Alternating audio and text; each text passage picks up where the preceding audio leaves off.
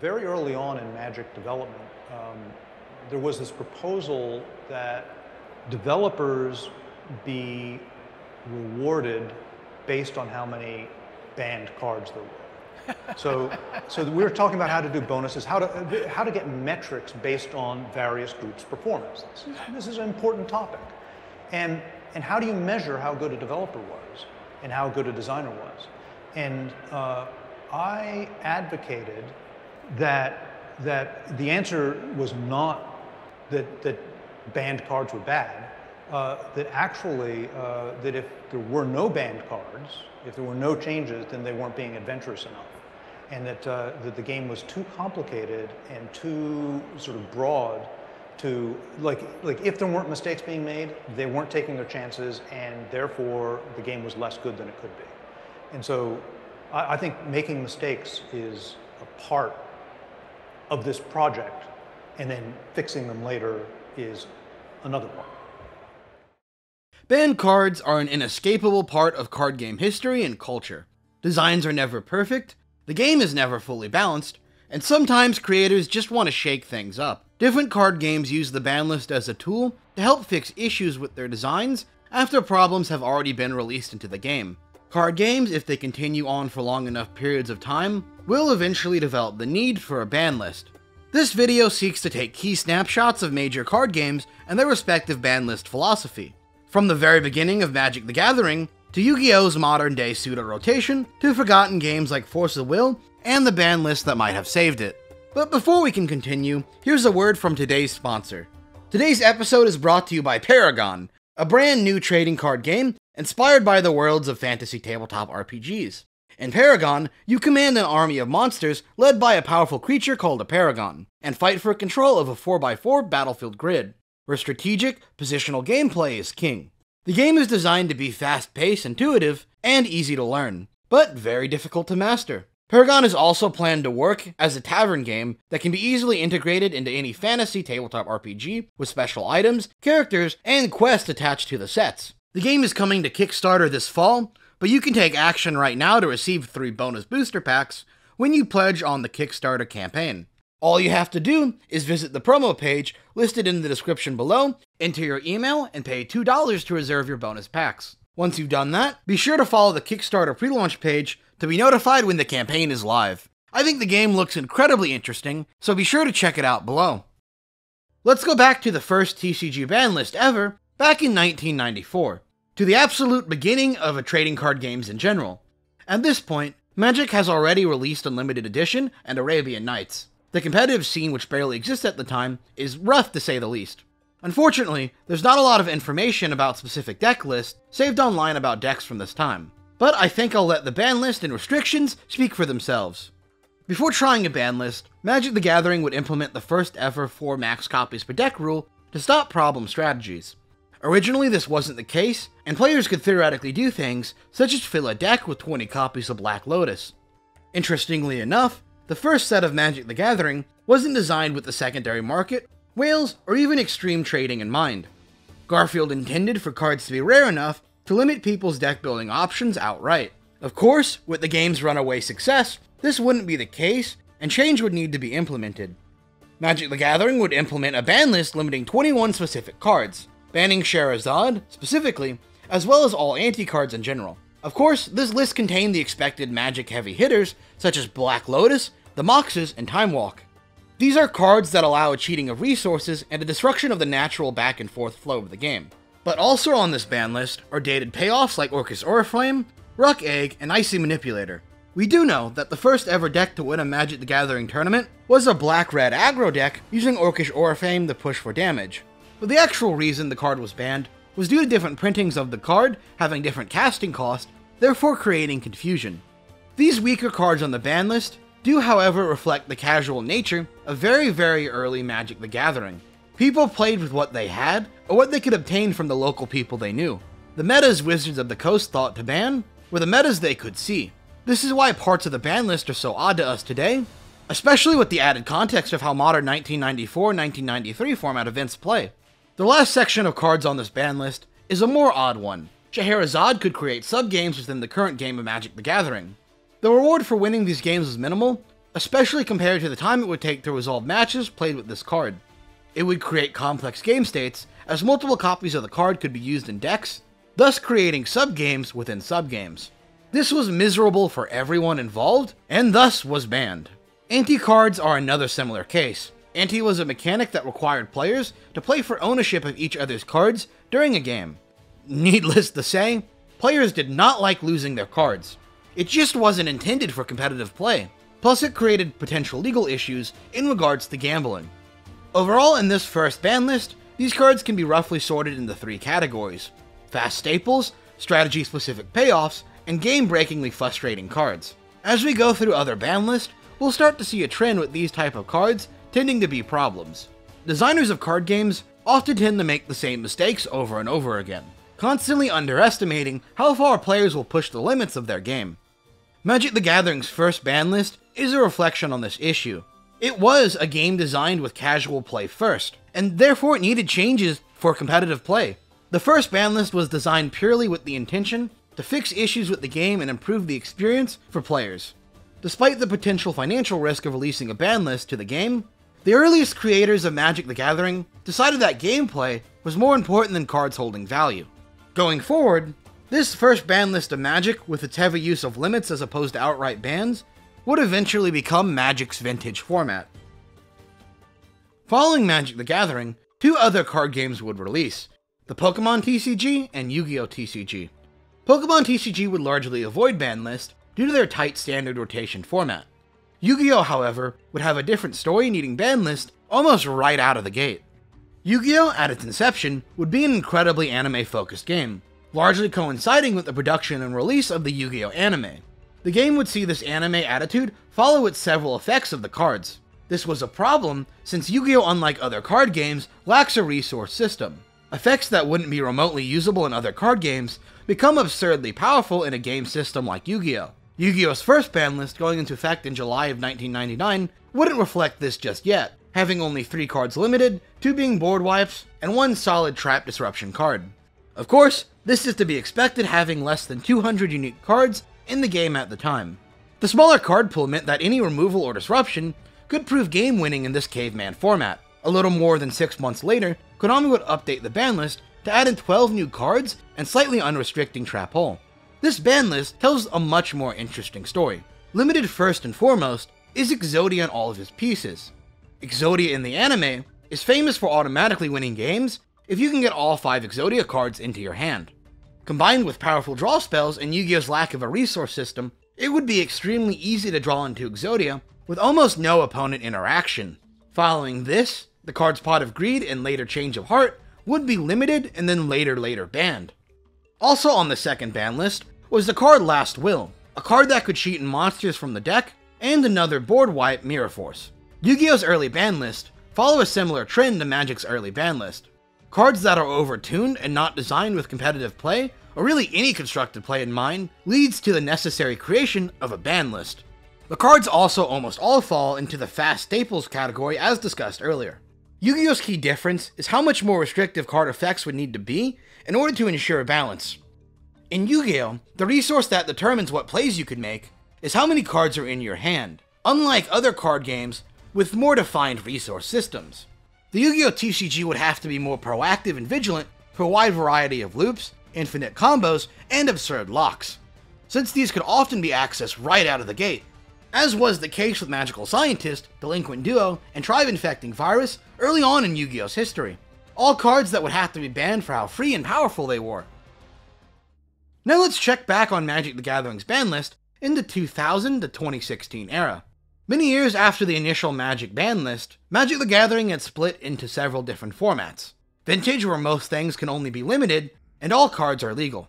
Standard, a format rotating around newest set releases, and Modern, being a non rotating halfway point between the older and newest formats. Here we see the first evolution or refining of the ban list philosophy. First, the list would develop into a standard consistent force. With every so often, players could expect to see an updated list. According to Wizards of the Coast at this time, cards should only be banned as an absolute last resort. Of course, this was to protect players and their investments in the decks, forcing more effort, time, and resources onto the design and testing divisions of Wizards of the Coast. This would lead to several cards throughout this period of Magic the Gathering going unbanned when they should have been banned. 2003 would see Mirari's Wake going unbanned for some formats where it absolutely dominated, and Collected Company and Rally the Ancestors in around 2015 to 2016. These cards would either rotate out of format or slowly fall out of the meta and be replaced by other strategies and new adaptations to the format, giving credibility to Wizards of the Coast reluctant ban strategy, letting the meta sit and develop at the cost of immediate change, perhaps for the better. Of course, this era would see plenty of Magic the Gathering classics banned as well. Birthing Pod, Faithless Looting, Jace the Mind Sculptor, and the Artifact lands, just to name a few. But a healthy balance between time and cards banned would leave players being generally happy with how the list was handled during these years. But Magic the Gathering's scarce ban philosophy was unfortunately not viable for every card game. While Magic the Gathering had players who had been playing the game for years at this point, and with massive investments into the game, our next example did not. Force of Will TCG was a Magic the Gathering competitor that released and was extremely popular back in 2015. It had a color mana system similar to Magic's, and it's based around a ruler card like Commander format Magic or One Piece today. It's still going today, but on a much, much, much smaller scale. What caused its decline is a series of back to back bad formats combined with some extremely bad products and power creep. Right before the release of their second block, the fourth bad format would come from the release of a new card type called Regalia. Zero cost cards that could equip to a ruler and give devastating effects. This would lead to a red aggro meta that would take around 90 to 95% of tournament results at the time. Force of Will Company, the company behind Force of Will, opted not to create a ban list for this format. The previous block of sets had sold absurdly well and even briefly rivaled Magic the Gathering sales. Plus, in the eyes of the creators, the game was casuals first. This bad format was followed up by another Tier 0 meta based around the Reflect Refrain ruler, a ruler that could outvalue almost every other ruler in the game while having no real counters at the time. This obliterated any chance the format, and the game to an extent, could recover in the eyes of the player base. Player turnout would continuously decrease, as would sales. The meta wouldn't be dealt with until around 6 months later, where Force of Will would implement a ban list with just one card. The problematic ruler, Reflect Refrain. Following this, the company would be more reactive with the ban list, albeit it couldn't keep up with the absurd number of problematic cards created by the Force of Will design team. Perhaps if the game had reacted to its problematic metas quicker with a ban list, the game's initial decline could have been mitigated or even avoided. Much later in Yu Gi Oh's history, Yu Gi Oh would see a ban list to accommodate the separate OCG and TCG formats of the game. These two ban lists would see different philosophies to managing the ban list and the game as a whole. The OCG ban list would largely follow a similar pattern to the classic hit the most successful and popular strategy philosophy. What makes this interesting is how reliant it was on semi-limiting or lowering cards to two copies per deck. OCG Yu-Gi-Oh! tends to opt to first decrease the consistency of certain strategies as opposed to outright banning them. On one hand, this prevents people from losing out on playing cards and decks they've bought. But on the other hand, this doesn't remotely solve problems created by toxic strategies, especially in a game as fast and as searchable as Yu-Gi-Oh! It also makes the game more luck based and oftentimes more frustrating for all players involved. Such as the time the TCG semi limited, then later limited, and then later later banned Maxx C. It created a format where it would be suboptimal to consistently play around this powerful card, but still just as devastating when it would resolve. For a better example, take a look at the Yu Gi Oh! Master Duel ban list, where cards are semi limited en masse to avoid actually dealing with problem strategies and refunding player card points. Speaking of the TCG, we can look at another interesting trend in Yu-Gi-Oh's ban list, rotating the meta by forcibly banning cards. Yu-Gi-Oh, unlike Magic the Gathering and Pokemon, never had any sort of rotating format. Yu-Gi-Oh would at several points ban all decks from a format in order to ensure that the competitive players would have to play the newest decks. An example of this is the November 2015 ban list, where Qliphorts, Shaddolls, Nekroz, Burning Abyss, and Ritual Beast all received hits on the ban list, Players would have to look to upcoming meta decks such as Kozmos, the new Pendulum decks, and Monarchs for new options, until these strategies would later receive hits on the ban list as well. This of course also plays into Yu-Gi-Oh! having a much more involved ban list, restricting in some way 13 cards and unrestricting 4. It's not to say that these decks during this format didn't need to be hit on the ban list, as they would maintain a large amount of meta presence. But they also have the side effect of increasing new product sales for Konami. Going back to Magic the Gathering, after 2018, Magic the Gathering would see a shift in design philosophy following a mandate by Wizards of the Coast parent company Hasbro for Wizards of the Coast to make more money. There would be massively more product released, more explosive and mass appeal oriented card designs, as well as the later introduction of crossover sets. This shift in philosophy would be known as Fire Design. Fun, inviting, replayable, and exciting. Notice how balance is not on that list. Fire was created to make cards more appealing to a wider audience. Fire Design increased the power level of commons, homogenized strategies around powerful cards, and repeatedly rotated the format of Modern due to the increased power level of cards. There's a lot more to be said about Fire Design, but for this video, just know it contributed to a rise in power level and uniquely an increase in the text per card in Magic. This combined with more products in general spiked the amount of cards that would create problems for each format. From Oko Thief of Crowns, to Omnath Locus of the Roil, to Uro Titan of Nature's Wrath, new Tier 0 and meta warping cards would upset the player base and create extremely unpopular formats. To save face, Wizards of the Coast would ramp up bans and frequency, leading to an absurd amount of cards getting banned around this time, even in an already rotating format such as Standard. 2021 and 2022 would see an almost monthly ban list, respectively having 9 and 11 updates to various formats ban list. 2020 saw a whole errata of the companion mechanic on top of the year's bans. All this putting Magic the Gathering on par with Yu-Gi-Oh! in terms of the amount of cards banned, this time purely for how pushed the power level of cards was. The ban list had become a band-aid to bad game design. Bad game design meant to push the game to a wider audience. This coincides with Magic the Gathering's player outrage problems, with many long-established players exiting the game, and even the company's stock price being affected. Magic would take corrective action in 2023, putting the ban list on a set clock and trying their hardest not to ban cards. This would be a moderate success, overshadowed by Wizards of the Coast other actions around this time. For our last card game, it'll be one of the newest card games on the market, the One Piece TCG. The One Piece TCG would have its first ban list only three sets in, due to a format dominated by one color or brand of deck without any real competition. Bandai would release two separate lists for One Piece, both targeting red decks, and more specifically Whitebeard. Whitebeard's gimmick was losing yourself life to get absurd value. The deck could hit high numbers, recur blockers, and protect life to an extreme degree. These two ban lists hit three from Whitebeard and one from a different self-deck out turbo deck. All of these falling into strategy-specific payoffs.